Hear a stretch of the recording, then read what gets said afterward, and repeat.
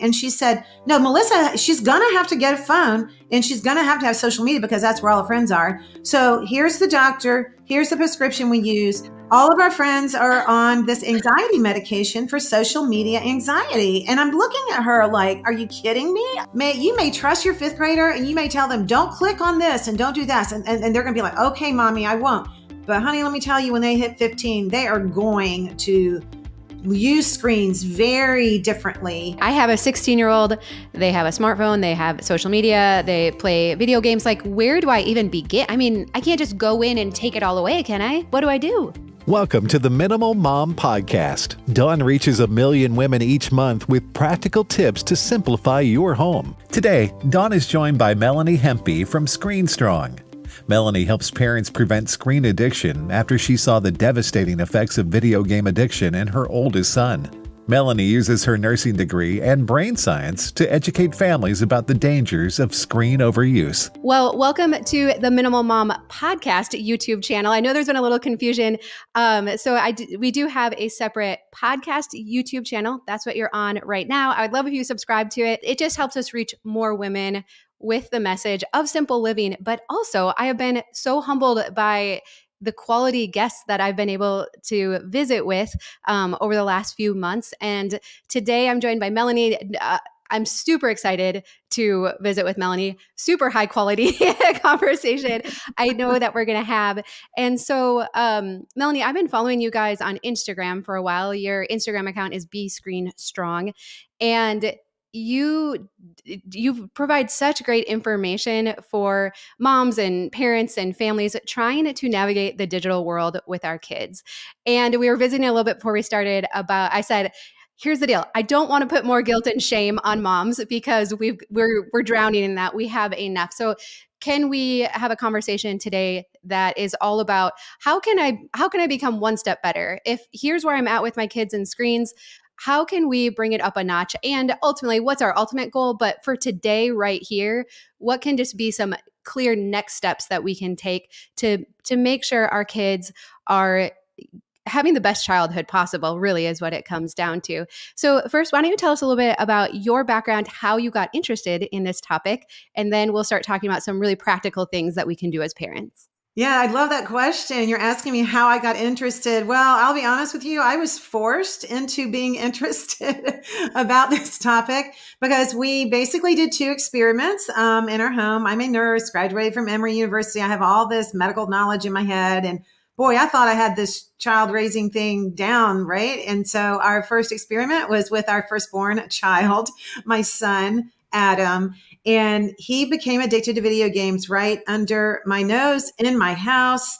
And ultimately, because of me, because I provided the access for his video games. And so, um, all through middle school, he started dropping out of all his activities, you know, baseball and guitar and piano and all the things he used to love. And he started playing a lot more video games. And at the time, you know, in culture back then, uh, we were being told, like on all of the people like you, uh, you know, wonderful advice about how we should not overschedule our kids. So I thought, oh, well, if he wants to quit baseball and he wants to quit all these things that are getting kind of hard for him in middle school, then by all means, I mean, uh, you know, the newspaper says, you yes. know, back then when we used to read the newspaper, um, you know, the Dear Abby, whatever, it said, yeah, let him quit, right? Mm-hmm. Because they need downtime. Well, little did I know that he was spending all of his downtime on his screen, which at the time I thought still was okay, because certainly Dawn, they wouldn't invent a, something that would hurt my kid, right? Yes, I mean, right. video games, you know, if you were a boy, you played video games. It was just like if you were a girl, maybe you did ballet. I mean, it was just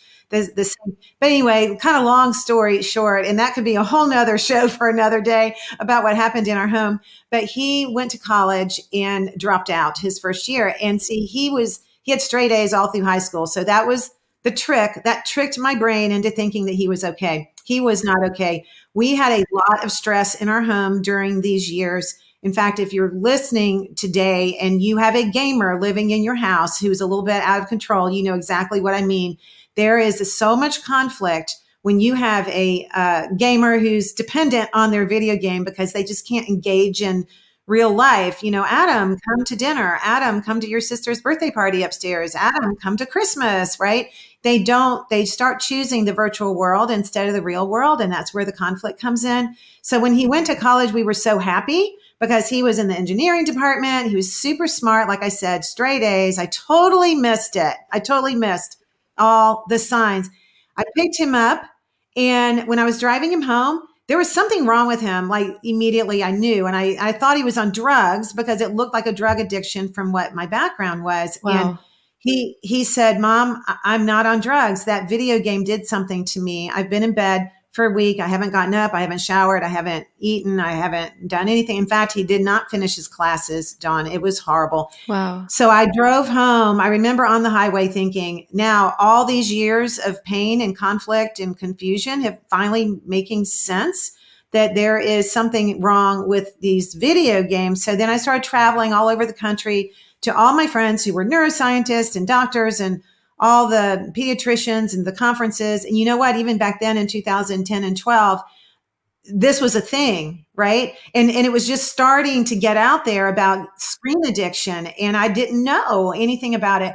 So um, there's a chemical uh, reaction that's going on when your kids are on their screen, whether it's uh, a video game or whether it's a phone. There's a lot of dopamine released, right? A lot of cortisol. There's a lot of neurochemicals involved. And so, parents, if you can listen to this and understand that this is a chemical thing, like, and once I understood that, I never would have allowed what was happening in our house when he was in, in middle school and high school. Had I known that it was an addiction, like a chemical, like gambling, like like drugs, alcohol, like it's almost like allowing him to drink at night or something like unknowingly obviously but that's as far as our brains that's kind of a similar thing that was going on. Right and so i just didn't know and back then even 20 years ago we didn't know as much about this stuff right when i was in nursing school and so i was so like blown away by the science around screen dependency and screen addictions and what the long-term effects are and so for Adam, we ended up, um, he came home and he wasn't going to go back to school. And so I did what every good mom does. And I, when you have an 18 year old in a hoodie on your sofa playing video games, what do you do? You call the military. so they came to my door. The recruiter came and they recruited my son into the army. And I am telling you at the time, it was the very best thing we ever did he got 14 weeks of a screen detox called basic training. and little did I know, but that was resetting his brain. And that's what we do today and all across the country. There's treatment centers for this. You know, you can pay a lot of money or you can enlist in the army and get your 14 week digital detox. So, uh, so at the time, he was like, Yeah, I love Call of Duty. I love to shoot guns. And the recruiter said, We're going to teach you how to shoot guns. And interestingly enough, he was a sharpshooter. He, because video games train uh, classically and operantly, they train soldiers to shoot very well. So he was a great uh, shooter. That's a whole nother thing.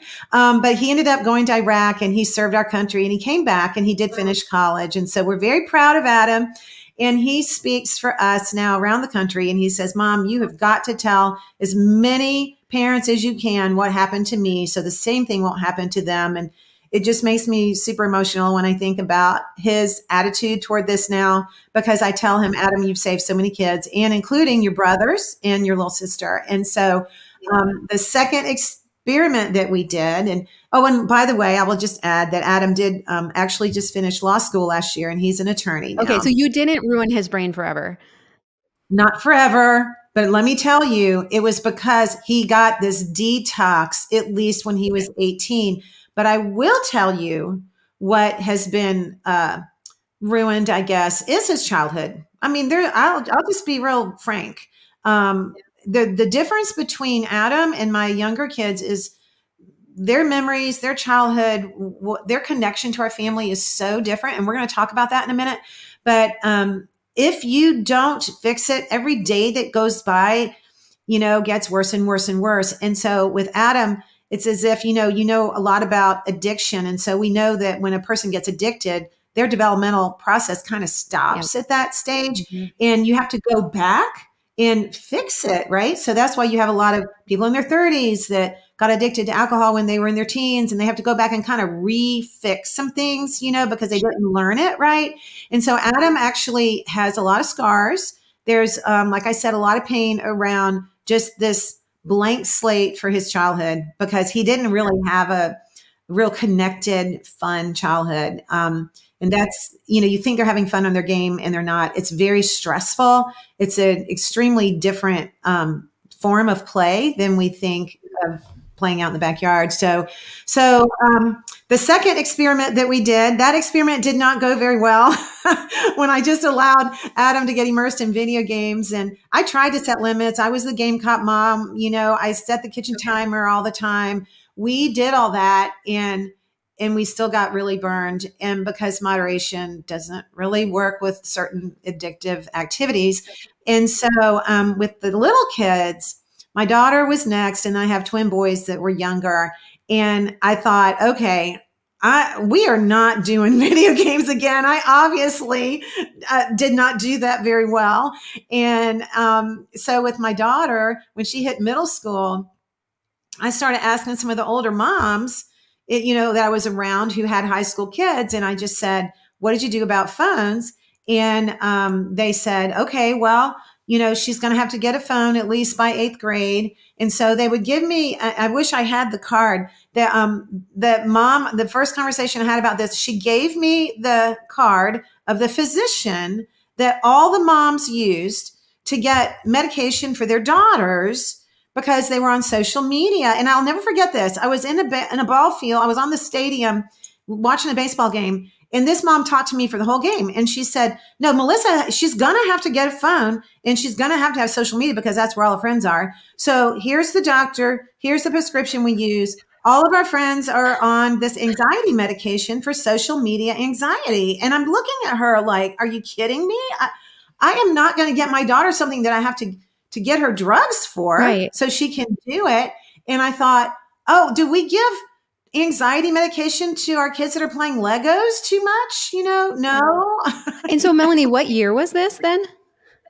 And this was back in 2000, like 15 okay. and wow. 16. And these, um, these moms were they were just nonchalant about it. It was like this is what you do. They they have social media depression, but all the counselors say they have to learn how to use it, so they have to be on it, so they have to have medication. And here's the doctor, and this is what we all do, and this is like the club. And I'm like, okay, we're not doing that.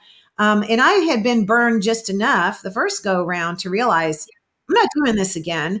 And um, and as a result of everything that I went through with Adam, we started Screen Strong because I started talking to parents in schools and different groups, and I realized it's not just me. I thought I was the only one. I thought Adam was the only one, and it's a very shameful thing, and it's a very guilty thing as a parent. You feel like oh my gosh, my son has this temper that I, you know, he just punched the wall in and he's throwing things because he gets really angry at his game. Or, you know, my 14 year old's having a meltdown on my kitchen floor because I took Fortnite away. Or, right. you know, but you know what? You're not alone. This is very common. It's a very common, you know, reaction to screen overuse. And so I, at that point in time, Dawn, I was already out talking uh, to groups about the science behind what's going on in their brains and it's it's not them they're not bad kids you know it, they don't mean to it they are being caught up in the persuasive design and it's all designed to pull our um, our dopamine chemicals up really high and to get us hooked and so when this mom was telling me this about the phone because we adam didn't have a smartphone and I was never going to give him one. And then when my daughter, you know, came along, she's a girl, right? So it's a little different. So you're thinking social media, and this mom, I will just never forget that. And so I thought, well, I'm going to wait till she's 16 at least. And so I went to lunch um, when she was six, right around the time she turned 16 with some friends. I went to lunch and they said, What are you getting Melissa for her birthday? And for her 16th birthday. And I said, Well, I guess I, I think I need to give her a smartphone. I mean, we've waited this long. And boy, did they give me heck. And they said, whatever you do, don't you dare get her a smartphone and social media. And they started telling me just really horrible stories. And some of them really weren't horrible, but they just weren't good about what their daughters were doing on social media because it's not all bad. But, you know, going into the bathroom and taking pictures of yourself in the mirror with your leg up to show somebody your socks, and then you got your whole crotch in this thing. And, you know, the moms were like, Melanie, it was the worst parenting decision we ever made. And if we had to go back, we would never give our kids, our daughters, you know, social media and a smartphone. So I told, I, I took that to heart, and um, Melissa got a pair of boots for her 16th birthday. and she did not get a yeah. smart. She had a flip phone. Okay. She was fine. Yeah. I am. I, I, know you talk about this every day. I am feeling my stress level go up just to hearing these oh, no. stories, and I think I'm sometimes a little insulated because our kids are nine through fourteen. We homeschool, and I think I'm a little insulated from what many parents experience um, if your kids go to school and the pressures that you face as a parent and your kids are facing. So I, I definitely want to talk about first person shooter games and that kind of thing because I know that is something that gets a lot of attention now too. But let's let's kind of break it up in age groups. Let's start with the the younger kids. So if I'm a mom with younger kids and then we're going to work our way up.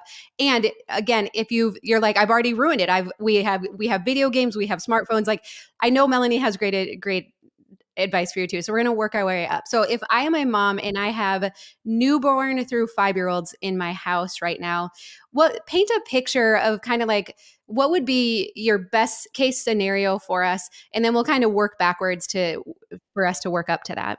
So for the little kids, the American Academy of Pediatrics has very clear recommendations on basically virtually no screen time. I mean, you know, um, because they're the way their brains are developing, um, it's there's so much I could say about this and the whole topic of TV and all that. We are not an anti screen organization at all. And we understand there are some things that are good for education, but you, you should never use it a screen as a babysitter during that age. Um, so think about this for that age attachment, touch, and movement. So you're thinking ATM. That's easy to remember when we used to have ATMs. um, so attachment, touch, and movement. That's what your kids need at that age a ton of that. They need to move, a lot and they need lots of touch. That means with all their toys and all the tactile stuff that they're doing.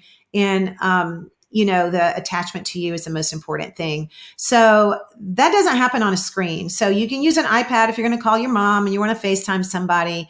Um, maybe you're looking up a recipe about how to make, you know, um, some kind of cupcakes or, you know, just some kind of something for your kids. But you really don't want to use screen time as, um, uh, babysitter. And uh, what we recommend instead is music. And so you can play music in your house, and that stimulates your child when they're young and they dance and they play and get them really used to fun music and even books on tape. Like they can listen to all these things. It's the visual stimulation that is so hard for their little brains. And in the new book that we just um, put out for kids, we actually, oh, I'm so excited. We have a preschool version of this book coming out in a few months for preschoolers where you can explain what screens are doing to them. Yeah. It is so wonderful. Yeah, I think it's important to understand that the games and the visual things on the phone and the tablet that you might be letting your kids watch when you're just trying to like get through the grocery store, or occupy their time that they are meant, like they are designed to be highly addictive. That the creators of these things that are targeted to our kids that go on our tablets and our phones, they know how quickly to change the screen how much flashing it goes on and so it's it's different than when we were kids growing up watching cartoons on saturday morning and so if i'm not ready to like totally pull the the iPads away and, and give them my phone or to go screen free. I eh, for these younger, is it better to have a show on the TV than something that they're holding directly in front of their face? Yeah, and you have to be really careful about the show they have on TV. And so what we know now about this exactly what you're talking about with the stimulation with the rapid movement of the screen and the rapid movement of even like SpongeBob SquarePants. That's the example because that's like the worst um, there's so many screen changes every second that that's stimulating their brain in a way that makes them very stressed and it makes them have ADHD symptoms when they don't have ADHD. It's called acquired ADHD, and this goes on through the younger years.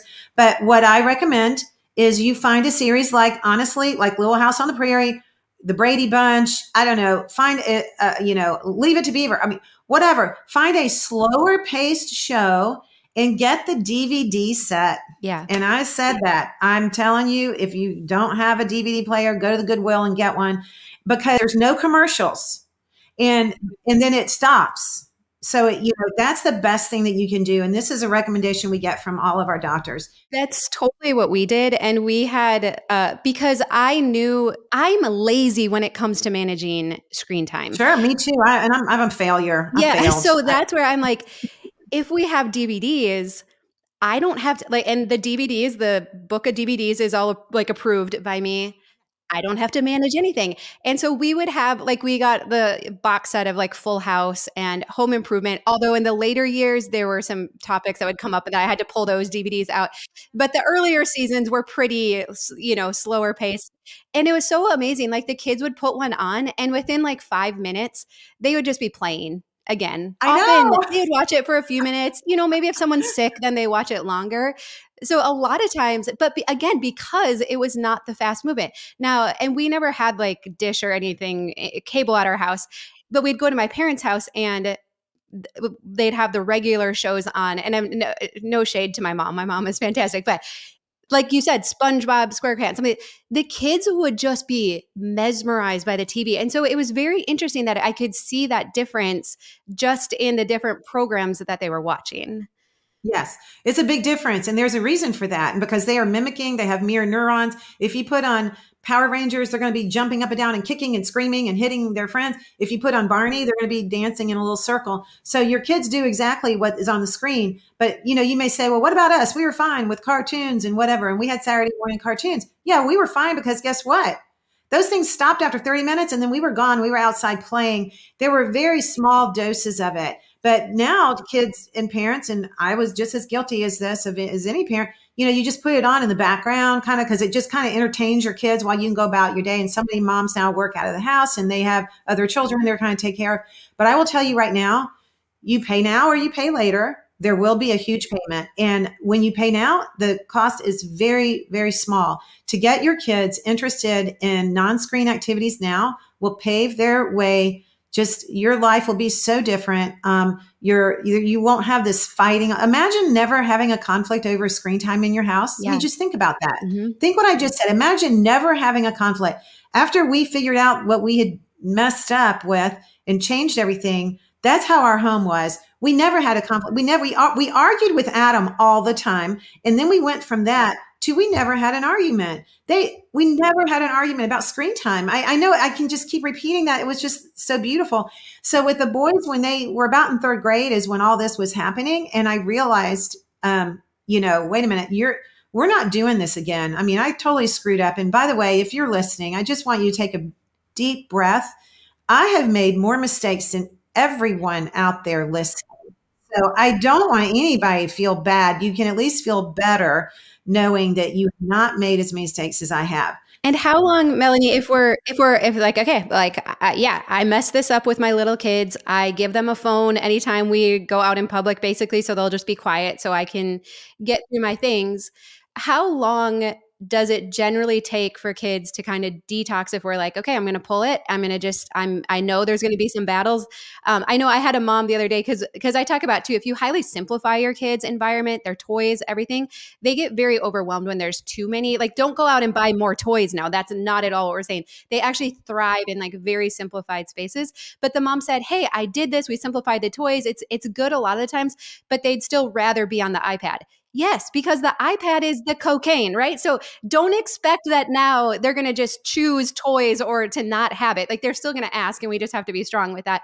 But how long does it take to to detox? So it does depending on how immersed they have been, will you know, it'll take them longer, but it can be anywhere from a month to 90 days. It could even be two weeks if they're not that immersed. But what you just said, you're exactly right. It is like cocaine. You have to think of this as a drug because it is a drug. And if you know anything about dopamine, whether you have dopamine from your screen or from cocaine, it is exactly the same dopamine. People don't understand that drugs of, of abuse block our dopamine receptors and then our brain makes more dopamine. We all get high on our own supply. So people don't understand okay. that. They think yeah. it's actually a chemical coming in, but with a game and, and with a screen, it's the same dopamine, right? So it's the dopamine, whether it's cocaine, whether it's a screen, and it's, it's all the same. So once parents understand that, it really helps.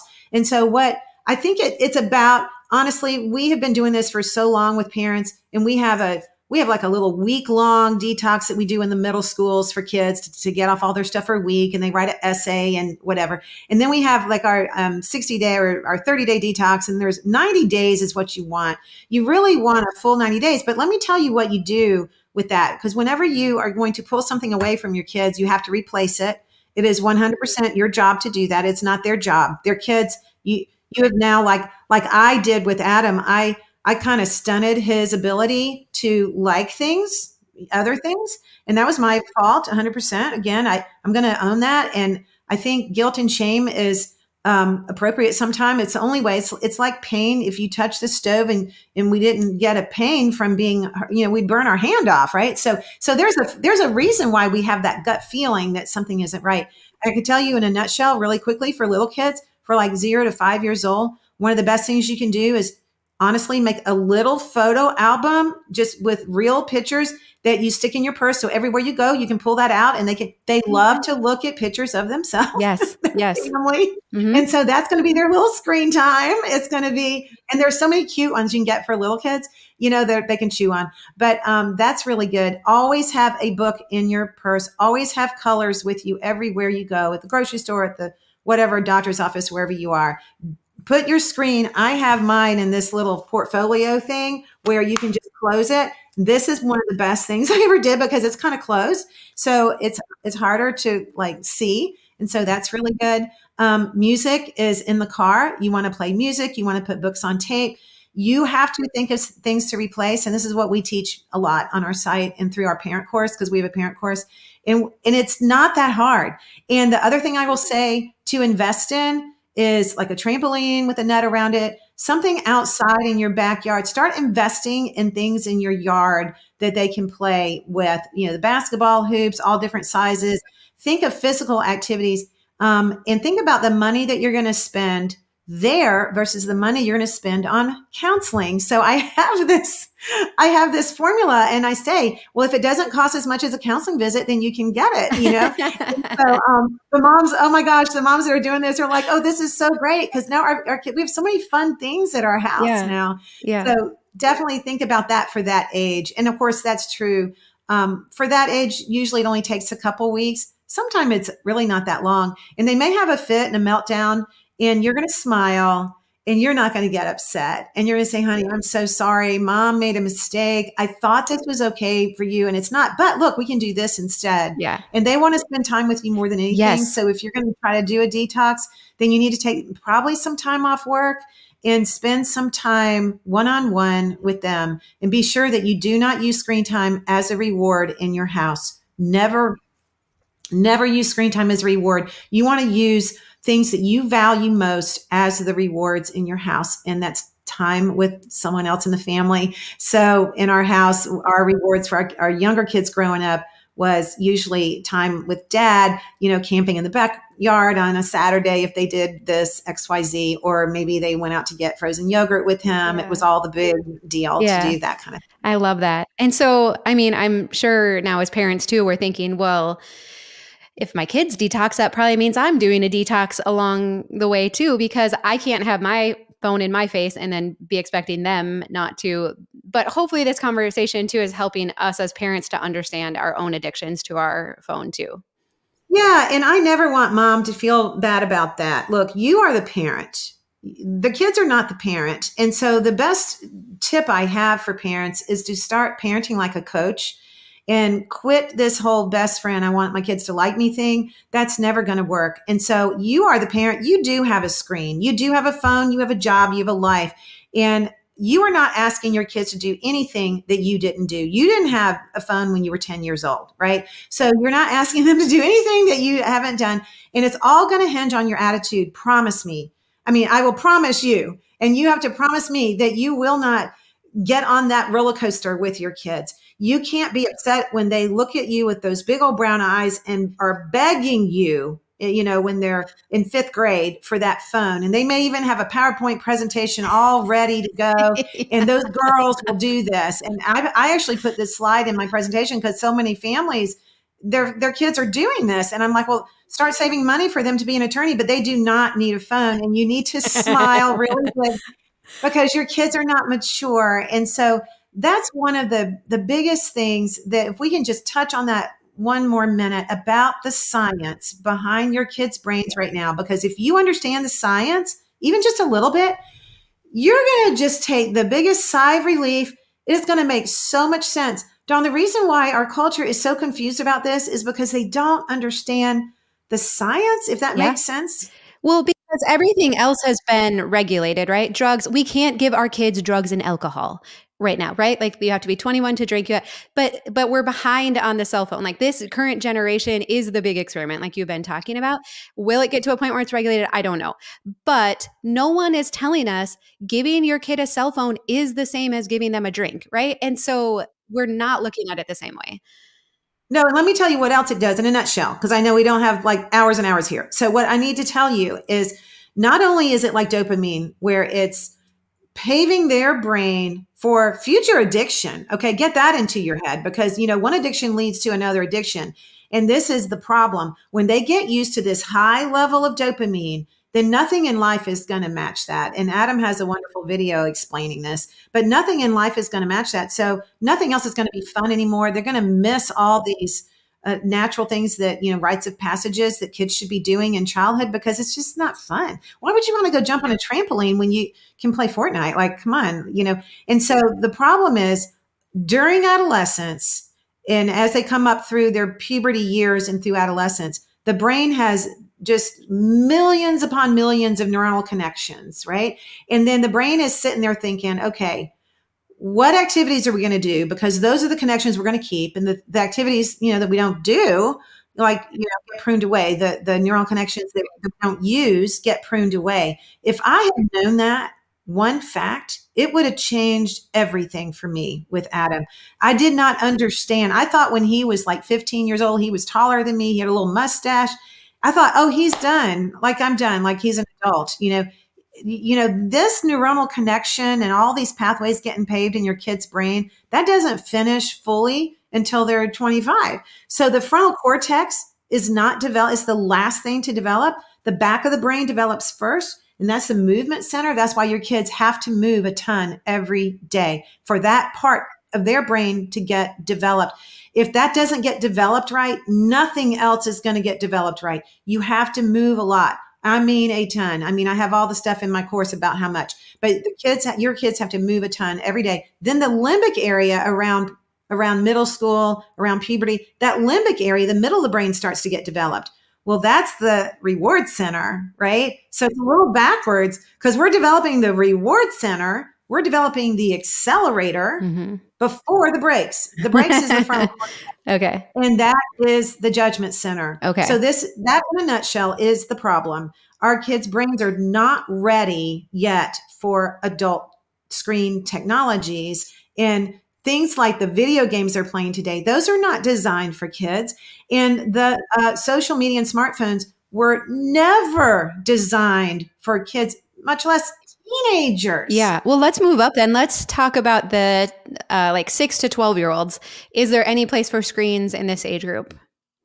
Right. So for six to 12 years old, again, it's kind of the same thing. You want to structure your values and what you enjoy as a family together. So we uh, absolutely promote watching sports and baseball and football and basketball. And getting get following a team is really fun as a family. So you can have super bowl parties at your house. And so it's all the different sports. Now of course you don't want to do that every day. In our house the rule was the screen could never be on if the sun was out first of all. So that was a big thing. Oh sun's out. Sorry. You know you can't you know and and i didn't have i wasn't the screen police like I was the game cop with Adam, you know, with the younger boys what happens is when you get them into these other hobbies and all these other interests with music and collecting baseball cards and painting on rocks and being outside. Oh my goodness, my younger kids love to be outside. Adam does to this day not like to be outside. Those parts of his brain, he just never grew up with that appreciation for nature. And that is a gift that your kids need their whole rest of their life. So for that age group, you can have a family movie night on Friday. And you pick, I mean, there are so many wonderful family movies. We have so many, uh, you know, that we recommend. Um, and so that will take them all the way through, you know, their middle school and high school years. We would, even during COVID, we started doing this and we keep doing it, is we put a big sheet outside under our deck and we have a little projector. They're really cheap. And we have movies outside. And so all the neighborhood kids will come over and they're, you know, just when they, and this is so funny, even when they were in high school, they're like, Mom, let's watch Cars again. yeah. that was one of their favorite movies. So, you know, some of the Disney movies are fine. And, um, but it's just not our main thing. And, and that during that age, you have to be sure that their screen doesn't become their main thing. It's not all bad, but there, the thing, the what is bad, Dawn? Okay, so this is really important the screen use that is bad is we call it toxic screen use. And these are the screens you have the most problems with. So the toxic screen use is video games, social media, and pornography. Those are the three things that you, as the mom and as the head coach, you and dad, you know, I, I always say one's like a catcher, one's like the pitcher. You know, you need both of them. but um, but you're the coach and those are the three things that you've got to steer away from. Now, my kids know everything about all the video games because their friends play and whatever. And they know about social media because their friends are on it. But they did not have it. And we believe, and we believe based on the science and based on the psychology of the most healthy way to build a young brain is to talk about these things but you don't do them just like you talk about alcohol but your kids don't have to drink in order for you to teach them about alcohol. They don't have to do drugs in order for you to teach them about drugs. They don't have to be on social media to learn about social media and the different things. Totally. social media was never designed for them.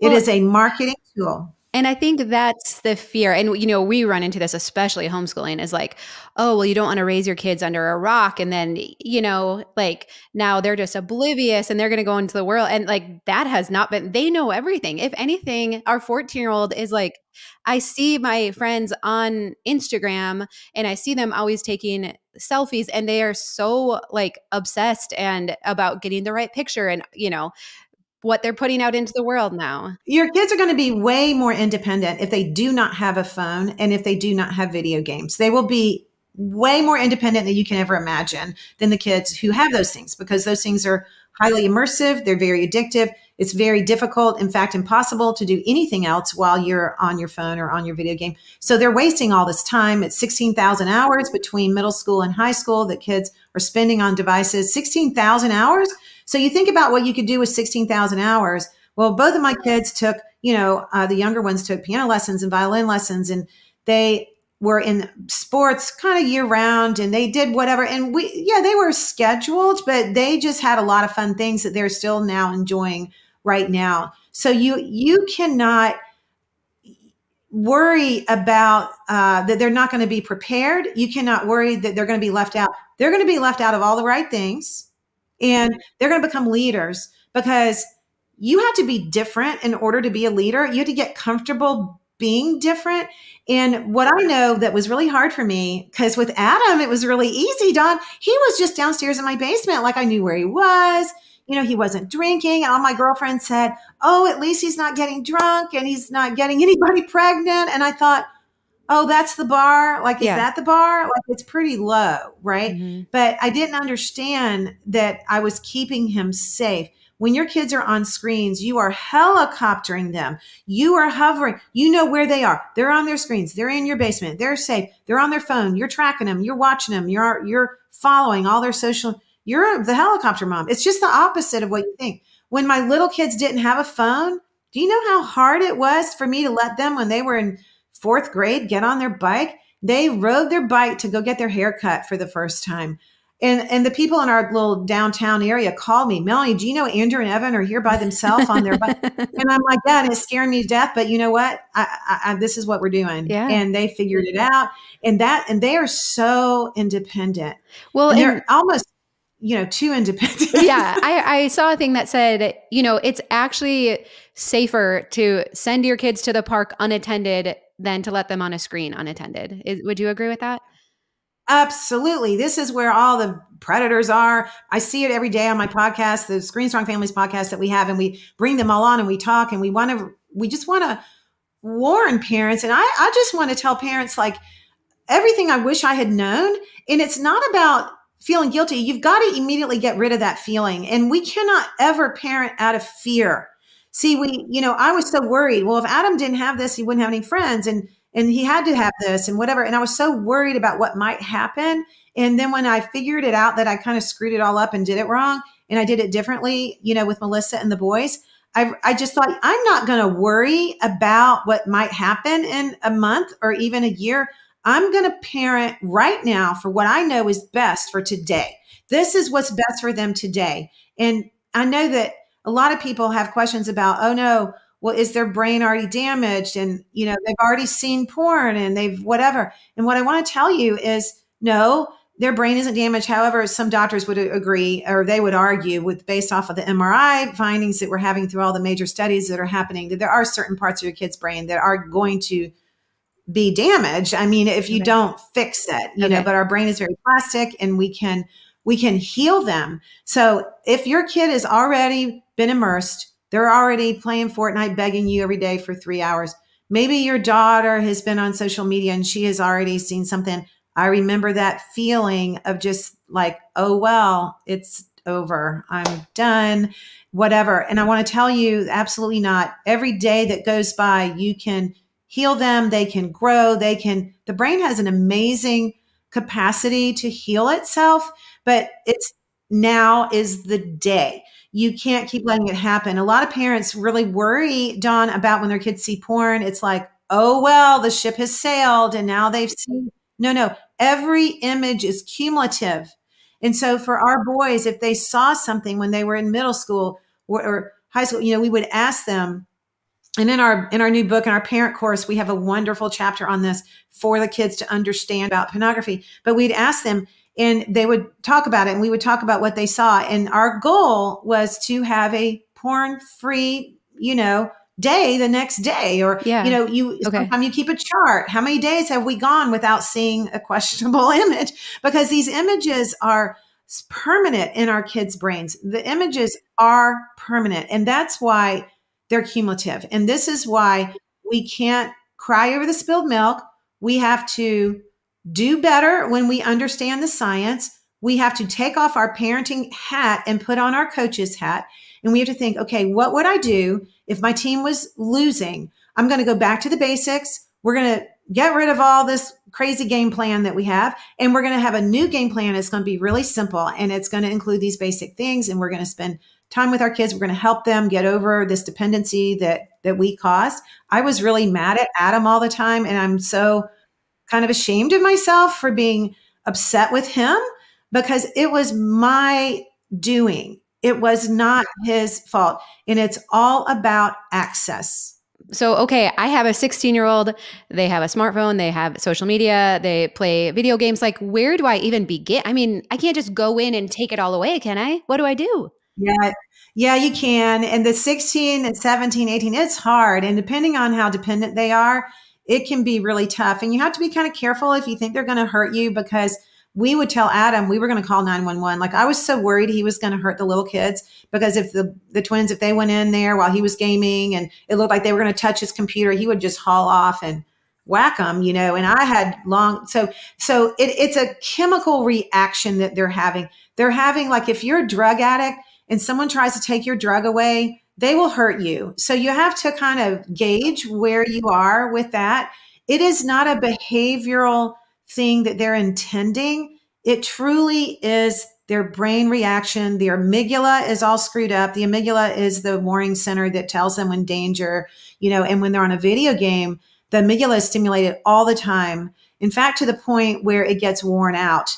And this is the whole problem with gaming addiction is that amygdala gets so worn out that it can't protect them anymore. And so they're in the fight flight state all the time.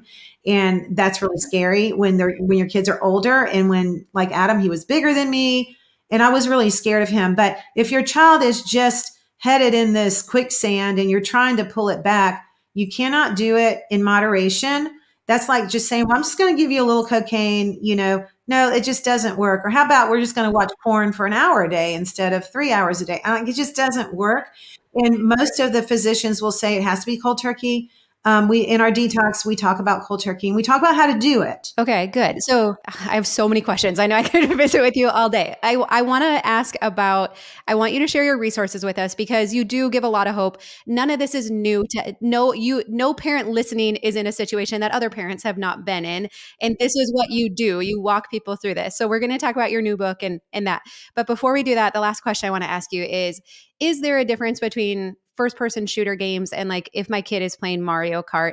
And also along with those lines, what if it is my spouse that is the one doing these games because I know that's the question rolling around people's minds too. Last question is huge, and I'm trying to get more of our dads to come on and talk and on some podcasts. Try to talk to dad one on one and explain what you're doing um, with a dad, you know, first of all, when they grew up, the games were not what they are today, especially like games like Pac Man and like Mario Kart.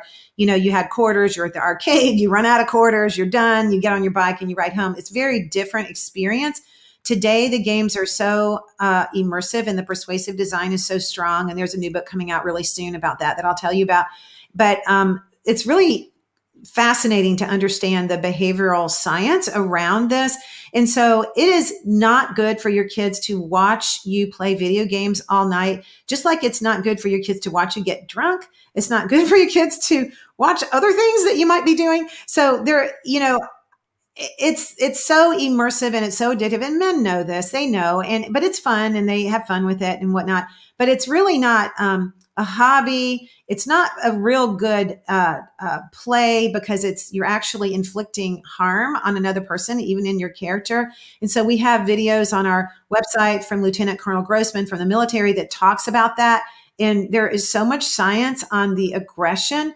So this is going to cause your child to be more aggressive you have a brain that is 25 years old at least probably you're not going to have the same reaction that your kids will have and while their brain is forming, that's what you're very concerned about. You don't want them to have all this aggression. You know, it may not be violence, but it's aggression and it comes through in different areas. And we actually outline that in the book for the kids because one of the um, most uh, um, requested things that we have is Melanie, can you explain this to my kids? Yes. And yes, we can. Mm-hmm. And what was first of all, what was the second um, question? If my kids are going to play video games, would it be better for them to play something like Mario Kart versus a shooting game? The answer to that is you need to move away from give video games as much as you can. Mm-hmm. Or maybe they go to a cousin's house or a friend's house and it just kind of like is what it is.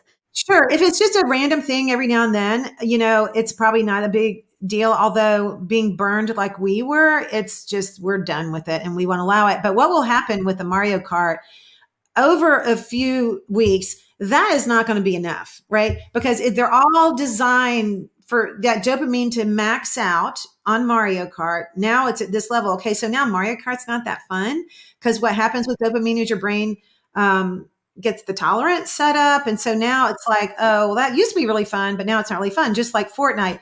Fortnite used to be really fun, but now I need to pay, play Call of Duty because okay. now that I need my next level of dopamine. So if you want to get on that roller coaster and fight that with your kid, it will be a fight. We got off the roller coaster. We decided we weren't going to fight about video games anymore. It will turn into a fight. I know very few situations where kids can play and walk away and act like it's no big deal. And they can like maybe right now when they're in fifth and sixth and seventh grade, but then when they hit eighth and ninth and tenth, it all changes. And this is the trick. So everybody listen. It's a trick that they don't tell you that your kids are changing. So your fifth grader may you may trust your fifth grader and you may tell them, don't click on this and don't do this. And, and, and they're gonna be like, okay, mommy, I won't. But honey, let me tell you, when they hit 15, they are going to use screens very differently and you're going to have a mess on your hands. Um, and I think this is a big trick. It's just one of those little parenting things that nobody tells you. Yeah. Yeah. well, tell us about your new book because it looks so cool.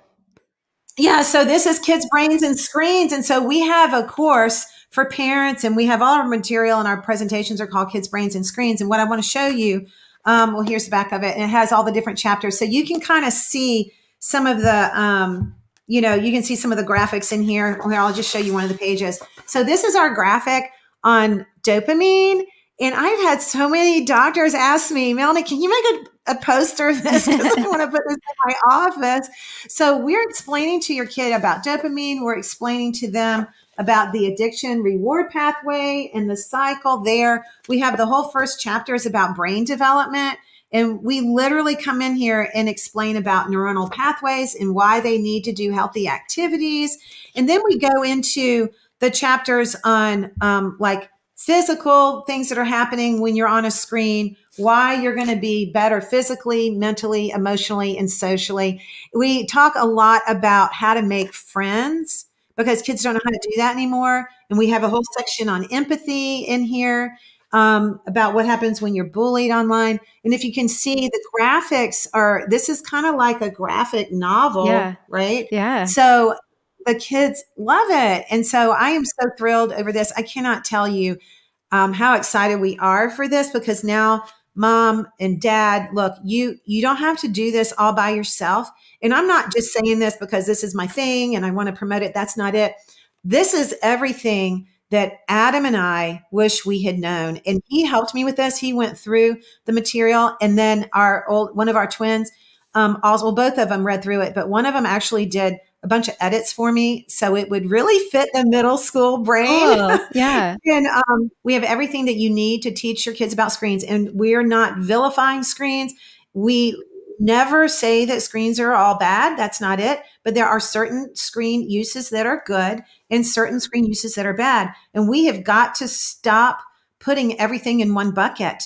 We can't and we can't moderate the bad uses of screens. And this is very important to understand. And this is why this book really helps the kids understand why it's not healthy for them. And we take a, a very big scientific approach on it. So they're going to learn things in here that are really going to help them the whole rest of their life. I mean, my experience with our kids has been that uh, once they know the science and they understand for it, now all of a sudden they're advocating for it too. And they're like, oh, maybe we should tell our cousins about this and stuff, you yeah. know? No, they're going to start telling you to put your phone down. like they're really interested. Like when they know the why and the reasons behind it, like it, it really connects with them. So this gives them the why, so they will have the will to do the right thing. And um, and we, I'm so excited. I'm just coming out of my skin about this because – I have been doing this for almost 10 years and it was always hard for me to talk to little kids because I'm like, look, I've talked to parents. I'm going to tell parents all things. So as we started developing this over like a three year period, and I met and I did beta testing, we tested it with audiences and we tested it with milk. This is the best of the best. This is what we came up with. And this works. So now you are the coach. You are the coach of your family. Now you have a game plan and you're going to share this with your kids and you're going to base your decisions and your rules off of this. And now it, so you're not going to feel bad anymore. And and I don't want you to think that your kids are going to hate you and you know this is the fear that moms have. They're like, "Oh my gosh, my kids they're not going to like me anymore. and My friends are all going to think that I'm weird and that I'm overprotecting my kids." Well, when you learn this and when you do our parent course as well, you understand that it is just the opposite. Your, your kids are going to love you and they're going to love it so much that you cared about them so much that, that you taught them about this and that you cared enough to have these regulations in your home. In our house, we use Canopy as a filter. It's canopy.us. We found that to be the best on all the laptops and the phones and whatever. Our boys did not have smartphones. I have a rule personally that I will never buy a smartphone for a child. I don't care if you're 30 years old. I'm not buying you a phone. Um, and we just want to fill in during these young years all these good things. So it's very positive. It's not about, ooh, no, no, no, and we're mean. Our kids wouldn't trade it for anything. And on our podcast channel on 169 and on 179, the twins are on there talking about growing up without social media. Cool. And if you have kids right now, yeah Listen, put that on. And by the way, get your kids on some pod. Let, let them listen to podcasts. Totally. You know, we yes. love podcasts. Yeah, we love documentaries. We we use screens. We use technology for so many wonderful things in our house, but not those three toxic things. You can do it. Don't look back at what you've done and the mistakes that you made. Have that be your energy to move forward. And what you see when you start taking those three kinds of screens out of your house, you will get your kids back. You will have so much more fun with your it is so fun. I can't even i hope that you can get a little piece of my excitement I'm so glad I second all of that. And I, you know, people have said like, oh, teen years. And I'm like, I love the ages of our kids right now. They're nine through four. I'm like, if I could freeze them at these ages, like we're not fully in all the teeny, we have the most fascinating, hilarious conversations, the things they ask and come up with. I mean, and you would miss it if they were all playing Exactly. fortnite in the basement you would miss all that and yeah. and the one thing i want to end and i have so many things but it's only 48 months of high school like high school is only 48 months and if we can't do something for 48 months we've got bigger problems and this is what i used to tell the boys because you know when eighth grade and sixth grade and seventh grade they just knew that they were going to get a phone at christmas and i'm like okay i would just smile and we get over it and then by the time they went to um, high school it was like they were great being different. They were like, oh, this is really cool. Like, we don't have a phone, everybody else does. But it's only 48 months of high school. And both of our boys, one of them was a student class president, the other was a senior class president. They didn't Oh, miss a beat. They had so many friends. Your kids will have way more friends. You, you will. We had the kids, we had their friends over at our house all the time, whether you're homeschooling, whether you're in regular school, whatever. Just have your house be the house. We have a, a trademark thing, Friday Fun Night, for a template for how to do this. That's included in here too. We have all the instructions in here. We have an escape room activity in the book for them to go through. It's an a riddle, it's like an escape thing, and we have the seven day challenge in here. So we got everything you Okay, need. Okay, so one last question then. When kids come to your house with smartphones, because we've experienced this, do they put them somewhere? Do they get set aside? Yeah, How do you manage we, we early on, I just told all the parents that my kids were allergic to social media and video games, and we would laugh. And I would say, "Yeah," and they're allergic to porn, and we kind of laugh. And I'd say, "So just don't. Your kids just can't bring that stuff in the house right now." And and I would say, you know, I know y'all got figured out. I screwed up my oldest kid. I I don't know how to manage, you know, having eight boys over if they have smartphones, and the moms would usually honor that you can keep them in a basket at the front. That was more awkward to me than just tell them they just couldn't bring them in the house. And so our house became the house where they they played outside all the time. They rode their bikes all the time. They had a longboard club. They have t-shirts they made for all the neighborhood kids. Like it became we didn't do screens. Like that was lame. That was kind of meh, you know. We just kind of did so many more things. And I will just say at first it is hard. Mom, it will be hard. You will have to structure some things depending on how old your kids are, but it uh, very quickly gets past that. Very quickly they become the agents of that change and they find out, oh my gosh, this is so much more fun than hanging on Fortnite. This is so much more fun. We have pizza nights at our house all the time. I get pizza from the grocery because I don't like to make pizza dough, and they make all their own pizzas. Like, Yeah. I mean, that is, I mean, who does that anymore, right?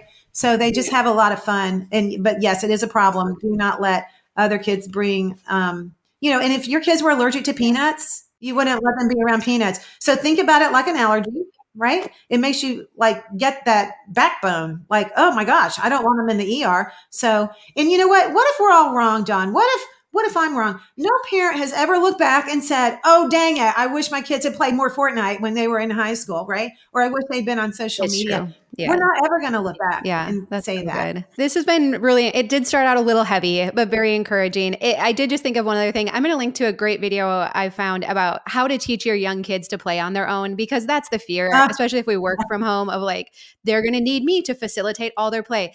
Good news, you can fully uh, teach your kids how to occupy themselves uh, for up to like three hours at a time. I do not like my kids like they would just play. I had to work and all that. Like, um, so I'm That's the best that gift you too. can ever give your kid. And we have a whole section on here on boredom and how to do Oh, that. good. Yeah. And I would also recommend that look into, even if you can't afford it, figure out a way to afford some music lessons. Piano is the best because it goes on forever. Any kind of music, anything they can do, um, sports, you know, art lesson, anything like that. Do what you can to invest in your kids right now in these types of activities, and it will pay off.